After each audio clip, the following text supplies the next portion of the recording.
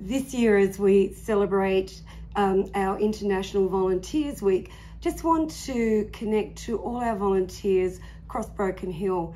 Now this year's theme is very simple. It's about recognise and we recognise at Council the contributions that volunteers make in many ways. Across our services, we have volunteers in um, our 355 committees, on our parks and ovals, uh, Arboretum, in our um, walk tours, in our library, in our art gallery, in so many places. And we recognise the work they do, but across Broken Hill, there are far more. Uh, the other theme is about reconnecting.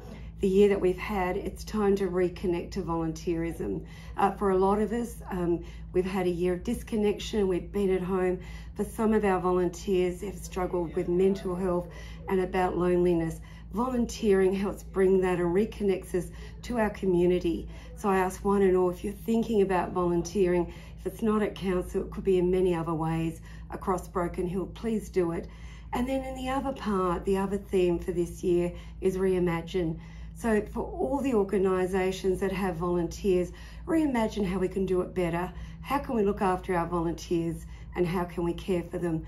So happy Volunteer Week to one and all, and for all of us, if we can um, recognise our volunteers, reconnect to our community, and reimagine how we support them, we'll do it better. Happy Volunteer Week, everyone.